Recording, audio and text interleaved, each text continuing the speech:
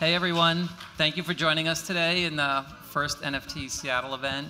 Uh, so excited to be in the Northwest. I've run a couple of Comic Cons here and love the city, so really happy to be here with my friend uh, Yu-kai Chou. So, yeah, for those who don't know, we've uh, been friends for a little while now. Why don't you tell everyone how, how we met and all that stuff? Yeah, so when um, so I'll give a little background first, and then I'll get into you know kind of how we became friends. So just as a little more background on me, um, I've been in the superhero world my entire life. So I grew up as a kid collecting sports cards, comic books, like a lot of kids. And it became such a big family business that my mom opened up a comic book store. I started a newsletter.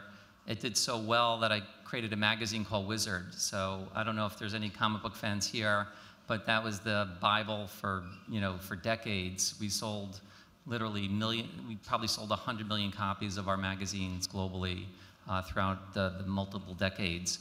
Um, but it was very interesting. During the mid 1990s, uh, we were selling probably about 400,000 copies of Wizard a month at the time, just in English, and decided to throw a little party for the magazine, called it Comic Con, and 20,000 people showed up. And it was just an incredible experience because it was it really kind of galvanized that movement. All these people that were disenfranchised, that felt like they didn't belong, all of a sudden felt like they had a place that they belonged to. And ultimately grew that into, I've run 180 Comic Cons, uh, sold over 5 million tickets, but more importantly, reached billions of people around the world um, and made people feel special, make them feel like they were part of something bigger than who they were. And um, and you know what's fascinating is that it not only affected geek and nerd culture, but I think how anybody dealt with their fans, uh, any brands or companies kind of work with their fans out there, and just uh, you know got into the Web three space, and now you know I feel like we're at that same moment in time. You know I get all the same feelings you know about those early days. You know where we're all trying to do something really cool. The world doesn't understand it yet um, but they will one day. And I'm just here to tell everybody we're on the right path. I've been here before, I've felt it, and I, it's in my bones. So, um, so it's just great to see everybody here.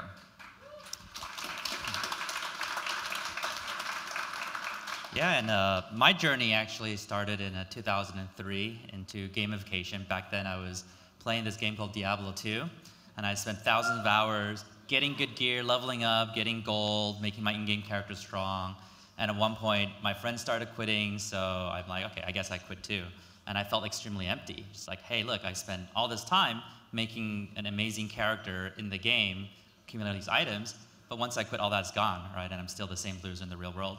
So I just thought, how can I play some kind of game where you know, the more hours I spend on it, the better my real life is. And the joke is that if back then there was this NFTs, right, all the things actually stayed, I can carry my, my character, my items, my achievements to another place, another place. I might have never actually gone into this journey of gamification. So over the years, wrote a book, sold it over 100,000 copies. Uh, my entry into the Web3 world, more the blockchain world, is uh, one of the, uh, the co-founders of Ethereum, Anthony Di Iorio. He was a, a, reader of my book, and he wanted me to help him as a chief experience officer for his uh, blockchain wallet. So, so that got me in, and then later I got a lot more involved into Web3 because my book ended up being uh, very popular. In the, when I wrote the book, I didn't have this Web3 world in mind. It, there was already crypt, uh, cryptocurrency, but not all the NFT stuff. Uh, but apparently, like some people on Twitter say, there are two must-read books. One is the 22 Immutable Laws of Marketing, which I haven't read yet, and the other is my book. So the other book must be pretty good, I guess.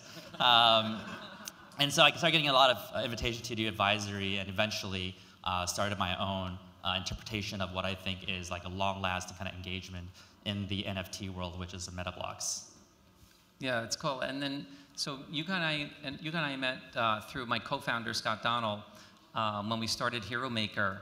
We wanted to build worlds, you know, because my entire life in the comic book world and working with every single brand, whether it was Marvel, DC, Star, Marvel, DC, Star Wars, Pokemon, Harry Potter, you, you name the brand, we worked with everybody. And they had this philosophy where they told the fans, you know, play our games, buy our toys, watch our films, but the minute you do anything with our characters, we're to cease, we're to send you a cease and desist and we're to sue you. And there was a line in the sand where they love their fans up until a point, but don't cross that line. So the idea of starting something in Web3 where all of a sudden the fans are part of that journey, where they're part of the ownership, um, it was critical. So my, my business partner was like, you got to watch this TED Talk. It was by Yu-kai Chou on gamification. And it was like one of this kind of eureka moments for me because it was, you know, the comic book world is a very, um, it's very linear storytelling. And we needed to be in the three-dimensional world. So when we created characters, it needed to have a third dimension. It needed a game, what I call a gaming mechanic to it. Um, and it also needed to have a journey component to it. So when he said you got to meet Yu-kai, it was like that was it. So so we got introduced. Uh, we worked with uh, we brought in Yu-kai to work with us uh, in the er, literally the earliest stages of the company to walk us through his journey. You know, and how he not only uh, he literally invented the process for how to think about gamification. And um, so Yu-kai, if you want to kind of take it over from there. Oh no, I think uh, you know when we look at the Web3 world right now, you know I have a framework, called the Octalysis framework. It's the word octagon analysis, and it breaks down all human motivation to eight core drives and all these different game design techniques. And when I see this Web3 world, it's just it's like all of us up on steroids. You, know, you see the mystery box designs, the Easter eggs. You see all these quests and how people manage discords. Uh, but I think today the biggest value that we can offer here is really talking about how to drive perpetual value, you know, perpetual engagement, long-term lasting value, because everything else is kind of like tactics, right? Everything else is like how to engage them, make them have fun. And, and it's the, the long-term kind of engagement that's the most important. And so when we think about long-term engagement, there's one of the eight core drives, something called epic meaning and calling, which is you're doing something because it's bigger than yourself. So what is that purpose and meaning in your NFT project? You know, in games, there is that higher meaning. It's like oftentimes you're saving the world or whatnot uh, where, and they'll say like, the world's about to end, but somehow you're the only person qualified to save the world, right? It feels very epic, amazing, you wanna go do that. Um, but that can be translated to the real world through gamification. You need a project. If you don't have a higher purpose and meaning, why is humanity better 20 years from now because of a project? Then people are there just because they think they can get rich in four months, and that's not gonna last, right? And so one of the most important things in establish that higher meaning and purpose is through uh, storytelling and thinking about the hero's journey, which I think you've uh, really mastered that. So why don't you share about that? How do you implement that? Cool. Yeah. So, um, you know, one of our core philosophies of the entire company is the hero's journey. So when we started with the premise of uh, world building, the, you know, we started with the idea that ultimately everything is going to be gaming in the metaverse because that's where it's all going to go, right? So whether it happens, you know, uh, quickly, not so quickly, in the future, it doesn't matter. It's all going to wind up there. And you know, with the core philosophy of the hero's journey, um, things are going to change, right? So it may not be something that you think about consciously right now, but you will be in the future. And every single movie or TV show that you watch, you're on somebody else's journey. You're on Spider Man's journey. You're on Batman's journey. And you might have some association with that character because they've overcome something similar to what you may have overcome. But at the end of the day, it's not you, it's Spider Man. And what's going to happen is things are shifting where people are going to want to become the hero of their own journey. And Web3 is going to make that happen for the first time.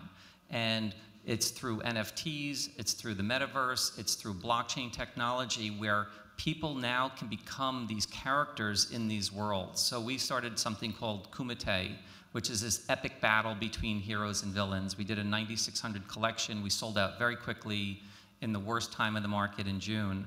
But, and then we, we did what's called a Vortex tournament, where all the families competed against each other to see who was the most powerful in the Kumite universe. And the Goblins won, much to my dismay. I wasn't a Goblins fan, but they did such a great job in the community, um, and they won the tournament. And, um, but, you know, all those people got so immersed in those characters that they believed that it was them. And they did everything they could to become those characters. And what's going to happen over time is through gamification and through gaming and through acquisitions and through journey and going on that hero's journey, people are going to become these heroes in their own world. You, so you're not, when, you know, you might ultimately want to play a game where you're Spider-Man in a new world, But what's going to be even better is how you're going to be the hero in your world. And you're going to want to play with or against your friends who are the heroes of their worlds. And we want to make that happen. And uh, so that's why you know the gaming side of it was so critical was that that journey and that that hero's journey side. Yeah. So Gareb's side and Kumite, I think a lot of it is that how do you build that hero's journey and have the higher meaning and purpose in that world. And so for me, because my background was the gamification side, it's like, oh, how do you apply game design to make this world better? And so when I thought about MetaBlocks, it was also about how to use blockchain Web3 technology to empower the real world. And so the way we tackle this epic meaning calling and purpose is, you know, first of all, we're thinking about, okay, what's truly scarce in the real world? Well, it's, uh, you know, gold and real estate. And but gold is still fungible, right? You, you trade gold with me, it doesn't really matter if it's the same quantity. But real estate is, is totally different. Real estate, you know, your home, my home, even if it's the same dimension, you know, we, I have my memory, I have my first child, you graduate from school there, you know, it's just different. So what we, what we did with the MetaBlocks is first of all, we divided up uh, different cities, like real world cities, into a lot of blocks, and they're all NFTs. And the, but the mission for MetaBlocks is actually we want to preserve humanity's most important memories onto the blockchain so it doesn't live on a single server. Because my uh, co-founder, June, who, uh, who's right there, uh, is from Google, and he noted that, uh, you know, uh, all our memories these days are on like Google Photos, Google Drives, Dropbox, and now they're charging for the service, right? Before 2000, you know, you know, your photos are printed out physical. You go to grandma's home, you see those physical photos. After 2000, all, the, all of them are digital, and they're on a single server. So 30 years later, you know, Google could sh shut down the service, you know, any business can potentially go out of business, or just our grandchildren don't want to pay for grandpa's Google Photos for the rest of their lives, in which case all their memories are gone. And so we wanted to have a way to preserve our precious, important memories onto the blockchain. And so that's where we attach that to the real estate game I described. So you own NFTs of the real world, real places, but then in order to level it up and generate more in-game resources, MetaRend, you actually have to submit different memories related to that location. And so the more memories that place accumulates, the more valuable the NFT becomes. And so we, we use a game mechanic with all these different components, different core drives, unpredictability, empowerment of creative feedback, but ultimately it's filling that, that mission of preserving important memories. So basically, every location can become like a museum or historical landmark, before, if you want to preserve memories forever, like the government has to do a national holiday or have a memorial. So MetaBlocks just aims to turn all of that, democratize that, and every place can do that. So, so we want people to feel like, hey, this is a timeless thing, right? The things that we care about, you know, uh, you know, we have people on MetaBlocks submitting, this is, my, this is when I had my first child, this is uh, to remember to see family member, or this is where I proposed to my wife.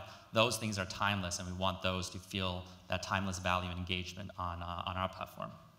Oh, cool. Yeah, I love it. And, um, you know, the way we think about it um, is what I call like the infinite journey or the infinite game. Um, so when you think about the idea that we, we, we all, every day in our lives, we play either a finite game or an infinite game, right? You play a, you know, you play a sport, you know, there's a winner, there's a loser, it's over. And that's a finite game. But then life is an infinite game, right? It just keeps going on, the day ends, and then the next one starts. So um, Simon Sinek actually wrote a book called The Infinite Game, and it got me thinking a lot. He wrote it years ago. And it's like, well, how do you take something and how do you apply the infinite world to the Web3 world? And, you know, for me, it was very simple because it was, uh, when I did the analysis and I saw like, okay, you know, a movie comes out, it's going to be in a specific number of theaters. A toy comes out, it's going to be, they're going to make X number, it's going to be on a shelf. That's a finite number of people, a finite revenue, a finite, uh, just everything. Disney is going to report their earnings, and they're going to know within 5 or 10% or less, you know, what their earnings are going to be. And that's a very finite number because they could build their business that way.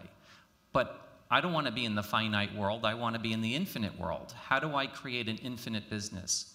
And through Web3, you know, when we did uh, Kumite and we did the drop, you know, so much about was how do we um, how do we embrace the community? How do we engage the community?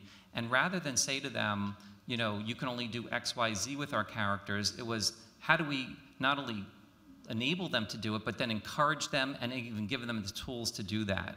So one of the things that we're doing is we're actually creating tools so that people can make their own comic books and tell their own stories. And not tell our stories, let them tell their stories. Again, going back to their own hero's journey. Let them make their own games, let them make their own you know, NFT toys and share it with their friends and sell those. And now all of a sudden, rather than being limited to what we can think of, or being limited to what we can do, now we have this unlimited potential.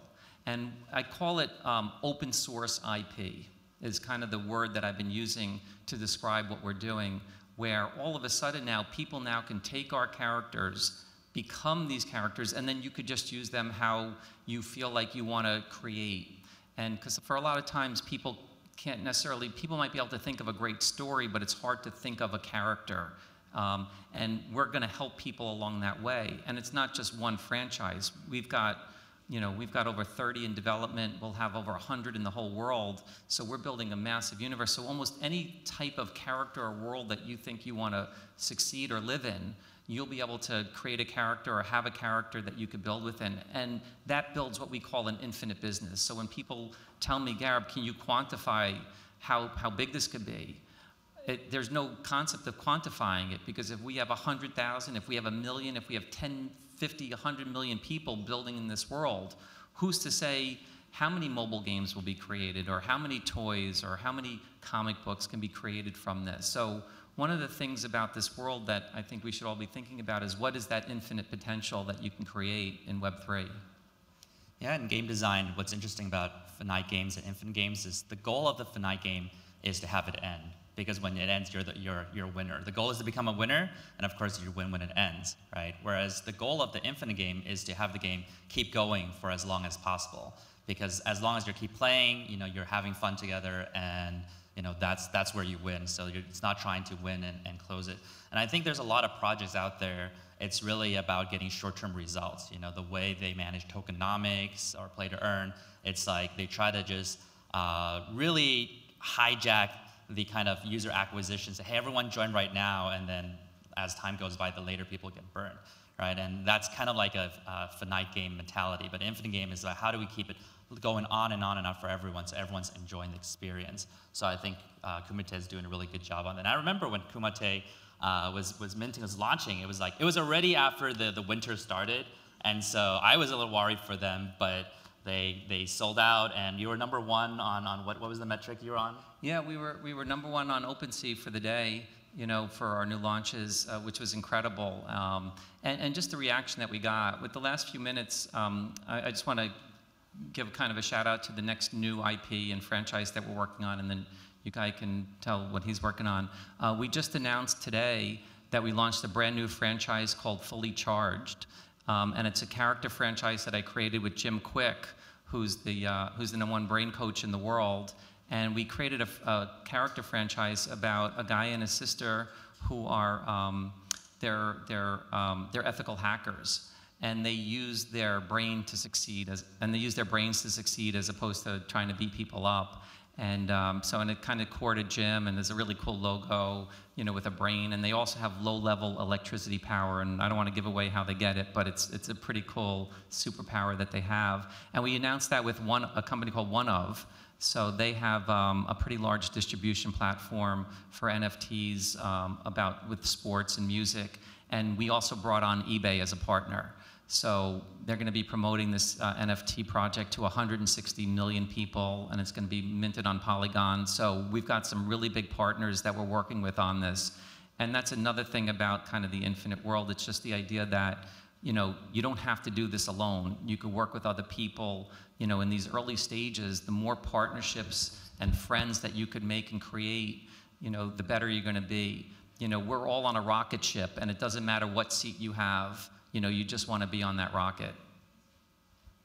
Yeah, and uh, one of the interesting things that we explore a lot in this space is how to do your game, uh, game loop rollout. Because sometimes you have your long-term vision, right? Let's say you wanted to have a horse, but you got to start with the MVP. And um, you know, obviously you don't want to launch MVP with just like the eyes of the horse and the lungs and the tail, just an animal on the ground. You want to start out something that's like uh, still living and breathing, like a smaller animal, like a squirrel, and then go into a dog, and eventually a horse. So thinking about that rollout plan, that it still has this intact game loop and activity loop is very important. So when we think about meta blocks, you know, at the beginning, it's just purely about the real estate. And then eventually we got into say, hey, people can upload their memories to, to the real estate. It's not on the blockchain yet. And then slowly, slowly we add moments. And so we're slowly still rolling out. And down the road, we want to add the AR uh, concept where people explore a city, they can immediately say, hey, I want to see the most inspiring memories of the city or most heartwarming. And actually, uh, for this event, we want to like immortalize everyone here being the first uh, Seattle NFT conference. And so we're actually doing a giveaway quest, which is if you guys take a photo of us here on stage and you upload it onto the Metablocks, this location, you just go to uh, seattle.metablocks.co and then we're doing a giveaway of you know, anywhere between 200 to 700 dollars worth of uh, NFTs. Uh, everyone gets it who, who finishes the quest. You also have to uh, take a photo with the sponsor, uh, the Pinata people. But once you, and then the goal is to keep that immortalized because this is the first ever. So yeah, feel free to go again, seattle.metablocks with an X, co. And you can do that. So, but the idea is that you first get to a phase and then you slowly grow from there. So I'm curious about how do you think about you know rolling out your game loop and schedule because I'm sure there's a ton of things in your head. How do you plan what's step one, step two? Yeah, so the way we think about it is there's actually been a pretty cool tried and true roadmap for comic books becoming films and TV shows and games. And that's really what we're doing. So the first step was create the story and then and then do the NFT drop. So now people can own characters in that world. We're working on, the, on digital comic books right now called Webtoons. So we're going to be releasing those in about a month. So now people that can now read the stories that we've come up with. And that's where we really bring out each character. And that creates the emotional connection between you and the characters. And, and that emotional connection is what, is what drives so much. It's one of the reasons why comic books have you know, taken over Hollywood is because so many people already have that connection. And then we're also doing a trading card game as well, and that's going to help build out all the different gaming mechanics of how the heroes fight the villains. And, um, and then once we do that, then all of a sudden it, it, comes what I call inbound. You build a big funnel where people love what you do, and then so many people out are going to call you up and be like, "Hey, I love what you're doing. I want," and I've already been prepping my film and television producer friends that this thing is going out, um, and they're all going to have to fight each other for it. So um, so yeah, so there's a really cool kind of emotional roadmap that we put together. Yeah, so I think once you master that, think about what's your long-term infinite game strategy, the game with the rollout, and the meaning and purpose. This is when you think about how to make each day engaging and fun, right? And that goes into what we call the right brain core drive design. Uh, core drive 357, empowerment of creating feedback, so giving people meaningful choices, self-expression, social influence and relatedness, so group quests, uh, collaborative, competitive, uh, you know, uh, social gifting and unpredictability and curiosity. So a lot of Easter eggs, surprise moments. Right? But it's important because a lot of people, when they think about gamification, they just kind of like, yeah, just throw game mechanics. Let's just throw all these things we find in games. And you, you know that all games have game mechanics in them, right? But most games are not successful. So it's almost naive to think that, hey, we just take these game elements that are even found in boring games and put it into our product, our platform, our Web3 project. It suddenly becomes fun and amazing. It just doesn't happen. You have to have the core and soul of what makes a game epic. And those are those core drives. Those are the things we've been discussing about. Cool. Well, thank you so much, everybody. It was wonderful to see you all. Thanks for listening. Thank you.